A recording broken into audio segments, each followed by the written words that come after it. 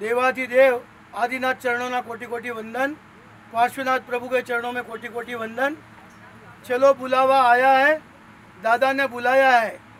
सभी जैनों को आज ये आह्वान है कि सभी जैन एक साथ मिलकर, जो भी हमारे गच्छाधिपति आचार्य भगवान जिन शासन की सुरक्षा, रक्षा के लिए आज जो ये सवाल खड़ा हुआ है तो भले हमारी संख्या बहुत छोटी है लेकिन जगत के अंदर सबसे बड़ा हमारा आवाज़ है और वो आवाज़ आज बुलंद करके हमें ये दिखाना है।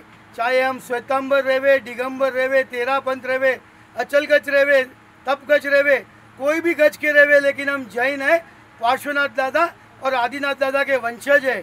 हमें ये दिखाना है कि कोई भी अगर हमारे तीर्थ के ऊपर किसी भी जात का हिंसा या कोई भी जात का अनुचित कार्य करने की कोशिश करेंगे, हमारे धर्म के खिलाफ कुछ भी बोलने की या हमें रोकने की कोशिश करेंगे तो ये जैन का छोटे से छोटा बच्चा, बड़े में बड़ा बच्चा और आचार्य भगवान और ये एक ऐसी अलौकिक शक्ति खड़ी करेंगे कि आज पूरी दुनिया के अंदर हम बताएँगे कि जैन कुछ भी कर सकता है।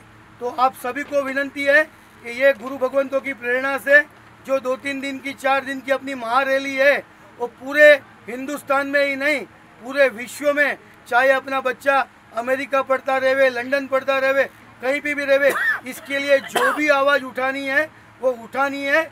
और कल से जो भी ये रैलियाँ चालू होती है, उसमें सहकुटुंब मित्र मंडल सहित हमें साथ में जुड़ना है। बोल श्री आदिनाथ भगवान की जय। बोल श्री नेमनाथ भगवान की जय। बोल श्री पार्श्वनाथ भगवान की जय। नमो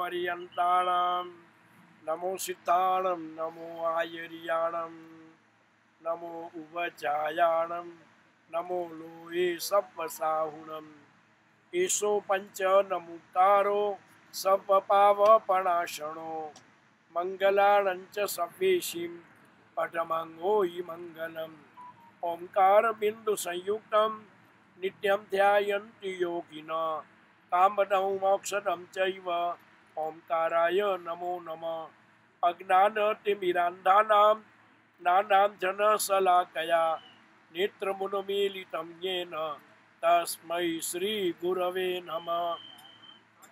નમસ્કાર સમો મંત્ર, શત્રુંજય સમો ગિરી, વિતરાગ સમો દેવો, ન ભૂતો ન ભવિષ્યતિ.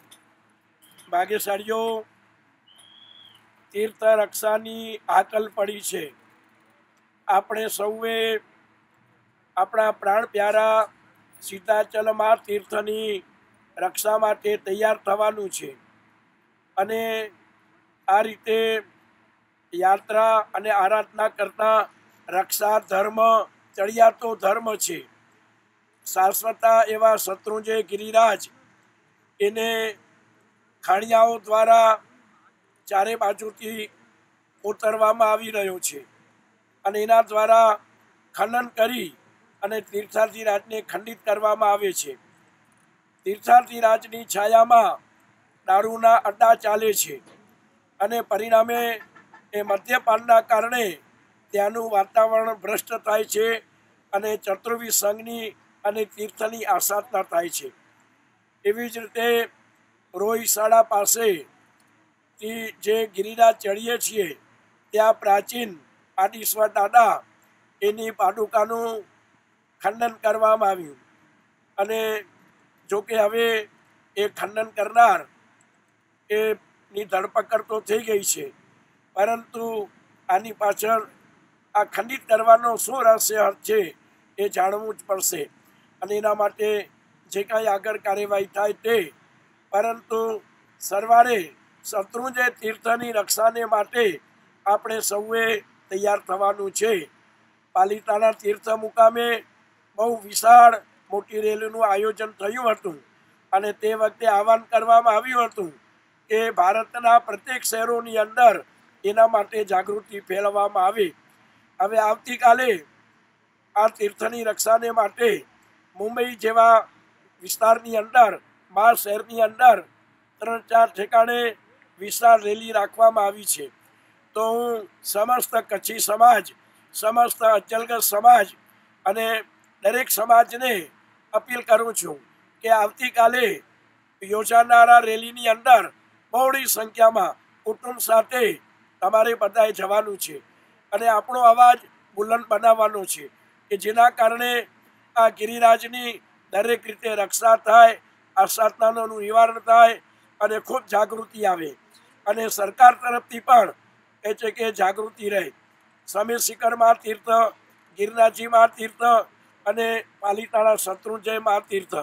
એની અંદર ઘણી બધી આ સાધનાઓ થાય છે અને ત્યારે એની રક્ષાને માટે જે ખરેખર પ્રયત્નો શુભ કરી રહ્યા છે, તેઓને આપણે ખૂબ ખૂબ ધન્યવાદ અને ખૂબ ખૂબ અભિનંદન આપીએ.